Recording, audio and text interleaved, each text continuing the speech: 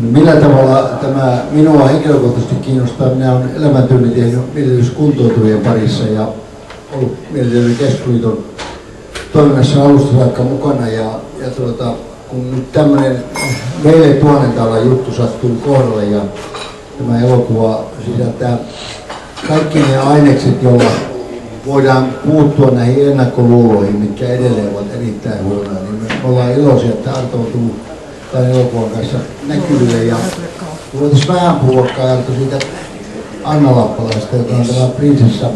Kuka hän oli ja mitä hän oli? Voisiko tiivisti vähän valottaa muillekin sitä? Niin tämä elokuva siis perustuu tosi tapahtumiin Anna Lappalaisen tarinaan ja, ja siinä on erikoinen piirre olemassa, että hänellä on pystytetty patsas Kellokosken mielisairaalan pihamaalle. Ja se on tiettävästi ainut patsas koko maailmassa, joka on, on niin mielenterveyspotilaalle pystytetty ilman, että hän on tunnettu taiteilija tai, tai filosofi tai, tai poliitikko ja muuta. Ja se, mikä siinä hänen tarinassaan on hienoa, todella, että se loi semmoisen positiivisuuden ja, ja tavallaan niin kuin, ikään kuin tervehtymisen ilmapiirin, jossa pystyy monet ihmiset jopa ikään kuin eheytymään hänen itsensä ohella. Ja hänen historiansa on se, että, niin kuin, mikä oli myös niin kuin elokuvatekijälle mielenkiintoinen, että hän oli ollut niin lapsena, äiti oli, oli hyljännyt hänet. Hän, hän oli, hän oli kolme lasta ja, ja oli tiukat taloudelliset olosuhteet ja hän oli, oli pitänyt ne kaksi poikaa ja sitten tämä tytär oli annettu sijaiskoteihin ja kotiin ensiksi ja, ja sitten jostain syystä se oli neljän, neljään ikävuoteen mennessä ollut päässyt 15 eri sijaiskodissa. Eli hyvin repalainen, traumaattinen niin kuin lapsuus taustalla, taustalla. Ja lopu, lopulta niin kuin, hyvin värikkään nuoruuden jälkeen hän oli tämmöinen kabaree-laulaja ja, äh, ja, ja tuota, operettilaulaja. Niin, ja sitten hänellä oli lyhyt avioliitto vanhemman miehen kanssa, niin hän sitten 34-vuotiaana päätyi Kellokoskelle ja hänen diagnosoitiin niin kuin, ää, sekä maanisdepressiiviseksi että, että skitsofreeniseksi henkilöksi, eli puhuttiin skitsoaffektiiva niin kuin nimi hirviöstä. Ja, ja tuota, sitten mikä, mikä oli mielenkiintoista, että hän oli alussa muutaman päivän puhumatta. Ja sitten kun hän rupesi puhumaan, niin hän saman tien ilmoitti olevansa prinsessa. Ja tästä tarinasta hän piti sitten kiinni siihen asti, kun hän kuoli 92-vuotiaana ja siellä on sitten kertomus, että hän lopulta kertoi sitten, miten asia on tosi mukaan sitten elokuvassa mukana. Mutta, mutta sitten tämän mielikuvituksen tai, tai niin kuin harhan tai sitten kauniin tarinan, mitä kukin haluaa nähdä, kautta hän tosiaan tämän positiivisuuden ja hienoinen prosessin sen aikaan ja, ja aika, niin kuin käynnisti ja sai aikaan. Ja, ja se on uskomattoman hienoja tarinoita niin muilta potilailta, lääkäreiltä kuin hoitohenkilökunnalta hänen vaikutuksestaan ja siitä järkähtämättömästä kuninkaallisesta tyylistään, jonka hän piti ja osasi säilyttää. Ja, ja, ja, ja silloin kun tämä patsas pystytettiin vuonna 1995 seitsemän kuolemansa jälkeen, niin mä luin siitä Helsingin Suomen kuukausiliitto, se oli iso juttu ja, ja kiinnostuin tästä tarinasta, koska siinä oli niin paljon koskettavia ja myös hauskoja piirteitä ja, ja jotenkin se oli tämmöisen ihmisyyden suuri puolustuspuhe ja, ja tavallaan tiettyjen tärkeiden asioiden niin alleviivaa. Ja koska mikä oli myös hyvin mielenkiintoista, että juuri näinä vuosina, kun vuonna 36 tuotiin sairaalaan ja oli vuoteen 88, niin siinä oli myös mielenterveyshoidossa uskomattomat mullistukset ja mitä hirveimmät hoitokeinot käytössä. Että se vähän tuli, niin silloin niin kiedehoito,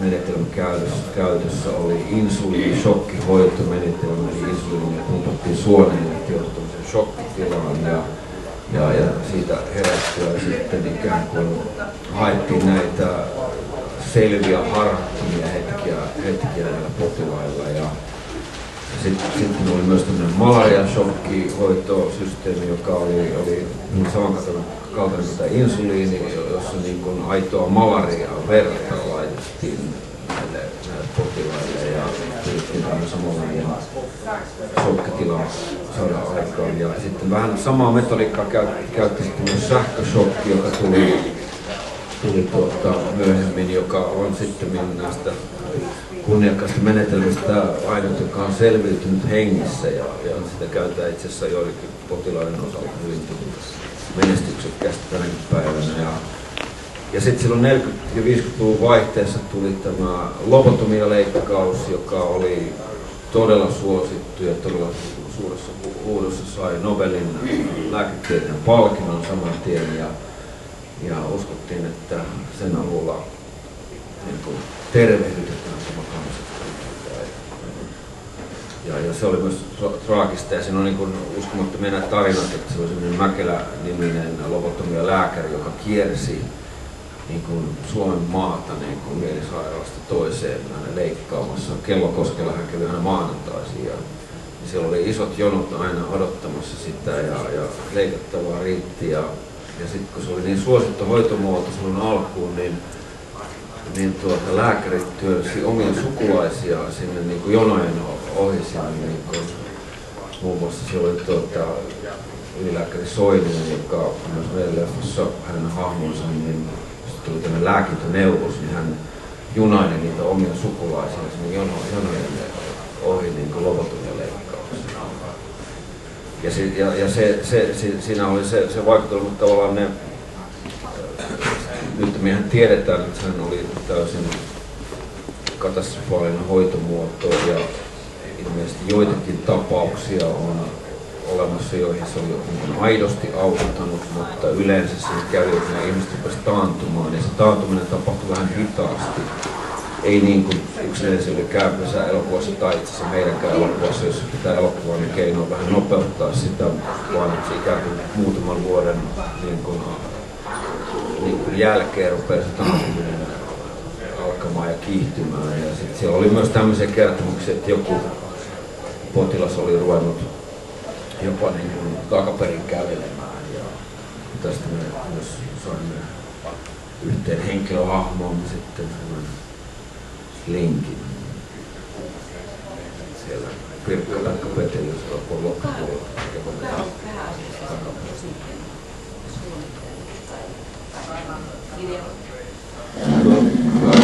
Prinsessa elokuvan tuota, musiikin nyt vasta Tuomas Kantelinen, joka on, on tunnettu elokuvasäveltäjä.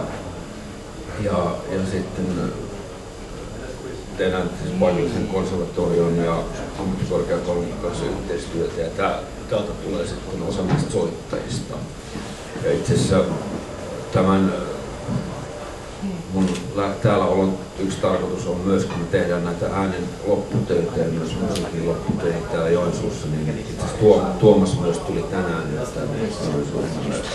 Tänään päästään aloittamaan tuolla tiedepuistossa tuo Mutta se, Tuomas on tehnyt jo demoja äh, siihen, siihen leffaan ja sitten leffa on niin leikattu niiden demojen avulla. Eli meillä on periaatteessa kaikki pääteemat valittu ja sitten sen lisäksi Tuomaksen musiikin ohella elokuvassa käytetään Mozartia ja, ja, ja sitten myös Brückner. Mahler on vaihtunut Brückner. Mutta, mutta niin, niin Brückner kuin myös Brückner otettiin ikään kuin natsi-Saksan käyttöön vahvana isänmaallisena karjalaisena musiikkina, mihin tietysti Brücknerillä ei ollut osuutta, koska hän oli jo kuollut siinä vaiheessa, mutta kuitenkin hänen musiikissaan on sellaisia piirteitä, jotka tämmöiseen maailmaan sopii. Elokuvassa on siis yksi lääkäri, joka, joka itse soittaa viulua ja kuuntelee niin Brückneria kuin Mozart.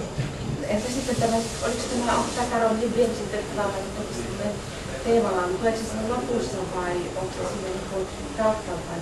Niin, ja sitten mikä on- se taso tai niin, niin no joo. Tä- Tässä on selvästi meillä sisäpiiritietoa, kun tämähän on yksi meidän, meidän avustavista näyttelijöistä, niin Täällä on toinenkin. Niin. Tämä jo kaksikin on ja, ja, ja hienosti ovat elokuvassa mukana. Niin se Karomia B, siinä on semmoinen teemalaulu, joka, joka tuota, jota lauletaan siinä elokuvassa ja se, se itse asiassa menee ihan alusta loppuun ja myöskin te, Tuomaksen musiikki mu, mukailee sitä kuvauksia katsomassa ei laittaneet niihin leposeteisiin kuitenkaan, vaikka ne oli juuri siellä parhaillaan. Ei, kun ne oli minua varten juuri laitettu tuonne musiikkiopistolle, tai mikä tuo oli. Ne oli leikkinä, tämä ihmisoikeuksien ja tämä ihmisyyden menettäminen on kovin helppoa järjestelmän kannalta. On helppo tehdä, mutta se palauttaminen on vaikeaa. Kiitoksia Arto, tämä oli mukava juttelutuokio, toivottavasti saatte siellä katsomon puolellakin. Elokuva syksyllä sitten vie palataan.